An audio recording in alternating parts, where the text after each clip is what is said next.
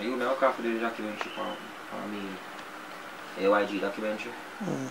Yeah, you know.